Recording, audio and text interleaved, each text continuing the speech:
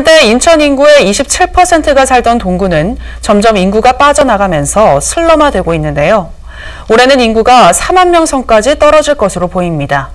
하지만 내년부터 재개발 입주가 시작돼 2022년엔 10만 명을 돌파할 걸로 예상됩니다. 이형구 기자입니다.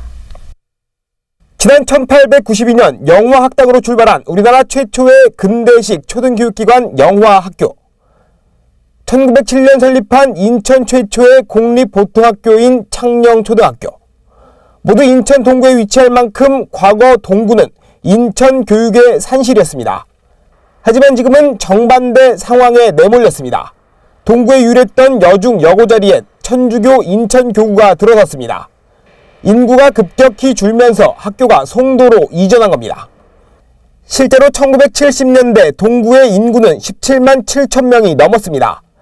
하지만 인구가 꾸준히 줄면서 1995년 이후 10만 명대가 무너졌고 지금은 6만 명 수준입니다. 한때 동구는 인천 인구의 27%가 살았지만 이제는 겨우 2% 남짓한 인구만 거주하는 겁니다. 재개발이 본격화되는 올해는 최악의 수준까지 몰립니다. 원주민이 잠시 이사할 곳을 찾아 떠나면서 인구는 4만 7천 명 선까지 추락할 전망입니다. 하지만 내년부터 입주가 시작되면서 서서히 늘어 2022년엔 10만 명을 넘어설 걸로 예상됩니다. 계획대로 진행되면 약 26년 만에 10만 명 시대가 복원되는 겁니다. 동구는 먼저 다른 지역으로 빼앗긴 여중 여고를 다시 만드는 작업이 시급하다고 보고 있습니다. 교육은 100년지 대계라고 그랬습니다. 그래서 당장 그 올해 내년을 보고 하는 게 아니라 앞으로 100년을 보고 하는 만큼 예, 우리 동구에 여중과 여고가 반드시 만들어져야 한다고 생각합니다. 구차원에서 할 수 있는 건 선제적 대응에 나서기로 했습니다. 교육 환경 개선을 위해 100억 원의 교육 환경 기금을 마련하고 영재 캠프와 진로 직업 체험 교실 등을 구축하기로 했습니다. 육아 조합전 센터 건립과 유아습 체험원 조성 등 아이 키우기 좋은 환경도 함께 만들어갈 예정입니다.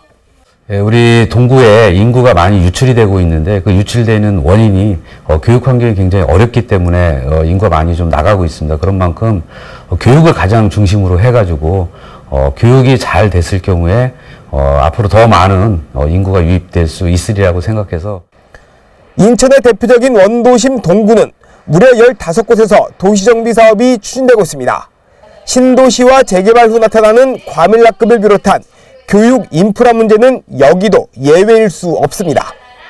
교육 당국이 학교 재배치를 비롯한 정책 결정 과정에 충분한 고민이 필요한 이유입니다. 티브로드 뉴스 연구입니다.